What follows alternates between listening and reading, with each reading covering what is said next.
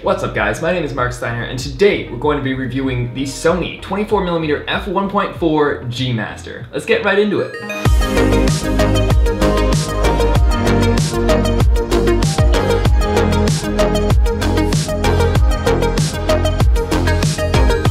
Onto the physical traits of this lens. This is the smallest 1.4 lens with AF that I've tested, and it's pretty light too, coming in at only 445 grams.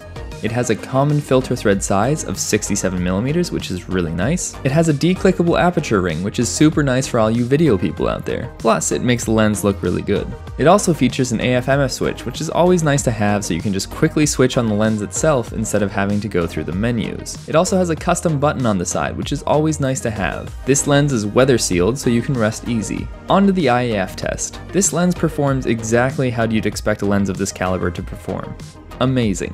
The Eye AF picks up the eye when it's in range and sticks to it like glue. Like most wide angle lenses, this isn't going to pick up the eye if your subject is decently far away. They have to be filling up the majority of the frame for it to lock on, but once your subject is within range, this thing performs beautifully. On to the video AF test. I was a bit surprised to find that this lens was a bit slower to focus on a moving subject than I had anticipated. It had difficulty tracking the subject as she ran towards the camera, and was only able to focus on her once she had come to a stop. Even the focus rack back to the background was a bit slower than anticipated. What I will say, however, is that this is probably the smoothest rack I've seen on any Sony lens. No jitter, no stutter, no in and out, just pure smoothness.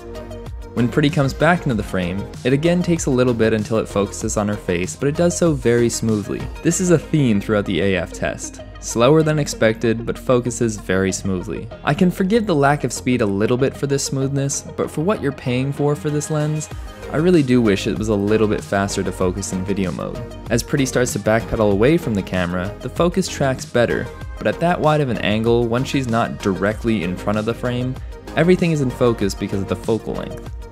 This lens is also the perfect focal length for vlogging. It's very flattering, it's a great size on the body of the camera for vlogging. It's inconspicuous, it's light enough, and it pairs very well, and it looks great, especially with that shallow depth of field. I'm at 2.8 right now because it's super sunny, but if you wanted to, you could vlog at 1.4, which is great.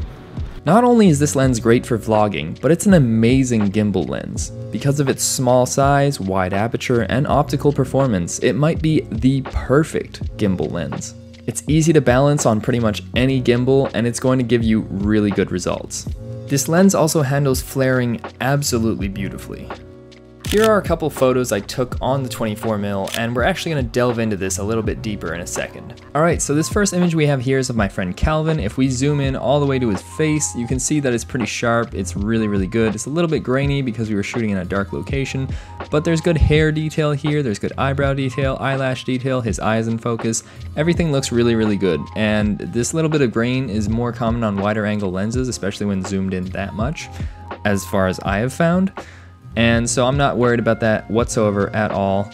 Um, if we go out to the corner here, you can see that there's a lot of detail in the red here. Again, it's a little bit noisy because we were shooting in the shadow, so I brought it up a little bit, but that's to be expected. Corner detail seems pretty sharp to me. I'm not worried about that whatsoever. And you can see how sharp this lens is with the detail in the chair slash stool that he's sitting on. A lot of texture detail in there. It looks really, really good. You're not getting that on a dull lens, so that's really nice to see. If we move up over here, you can see the bokeh in the background. Looks very clean, but is not perfectly circular. And I think that might be just because the edges, but I also have a feeling that it's not just on the edges, but it does look fairly clean and fairly consistent. Here, the sharpness of the table is looking very, very clean all the way out to the edge. If we zoom in a lot, you can see a tad bit of fringing up here with a purple and magenta and down here. And then as we scroll to the right, you see a little bit of green fringing um, on the table here. Very minor, unless you're pixel peeping and zooming in past one to one, you're not going to notice anything. So that's that's really good. Uh, again, the, the background here, pretty busy with this uh, fence, but the bokeh looks pretty clean again. Doesn't look perfectly circular, and that is very obvious when you look back up at these lights up top. And you have a little bit of a cat-eyed ovalish thing going, but it does look fairly consistent, fairly clean. I'm not too worried about that. That's something that's pretty common on most Sony lenses. Very few of them are gonna give you perfectly circular bokeh, especially when not directly in the center of the frame. So now that we've done that image, we're going to go over to this image. And again, we're gonna zoom into the eyes of my friend Pretty. Sharp eyes, very sharp, everything's looking good. We got some good skin detail here. Not as much detail as say like an 85 millimeter, but again, this is a wide angle lens. It's not meant to be up in your face like that. So we're getting a good amount of detail in the face and texture and eyes. And if we go to the corners up again, for me, it looks like the corner sharpness and detail is very, very good. I'm not worried about that. Does, there doesn't seem to be a massive fall off in the corners when it comes to photo. And we can see that more here. This antenna of the Wi-Fi connector, it looks very, very sharp. Nothing seems like it's losing a lot of detail in the corners here.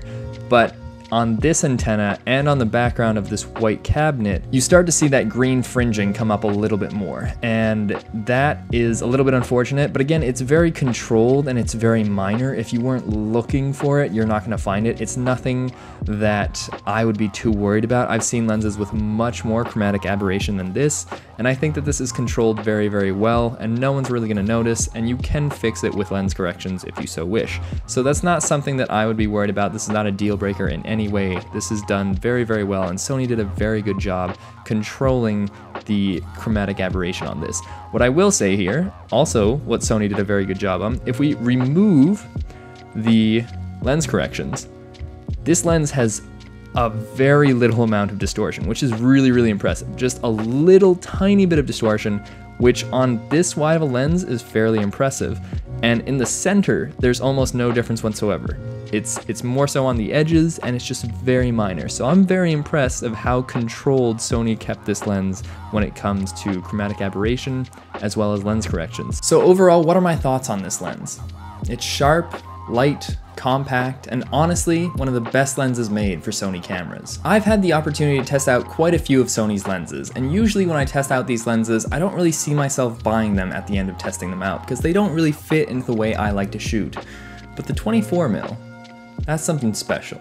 I would actually consider buying this lens in the not so distant future. I'd definitely use it for video and throw it on a gimbal, and that's what I've been doing for the past week, but I'd also use it for photography. I'd use it for travel photography, environmental portraits, landscapes, everything. This is like a good everyday lens to have. I think it's very similar to the 35mm, which I love to use for everyday use, almost good in every situation. I think for photos, I'd still prefer a 35mm, especially my Sigma 1.4. It just, I like that 35mm focal length, especially more for portraits. The distortion is just a little bit less and it's very flattering. I really like that 35mm for photo, but for video, I'd actually prefer the 24mm. This lens comes in at $1,400, and although expensive, it's one of the more affordable G Master lenses, and I think it's pretty fairly priced considering its compactness, its feature set, and its performance. I want to know if you guys are thinking about buying this lens or if you already own this lens. Let me know in the comment section down below, I'd love to hear your thoughts. My name has been Marc Steiner, and I'll see you next time.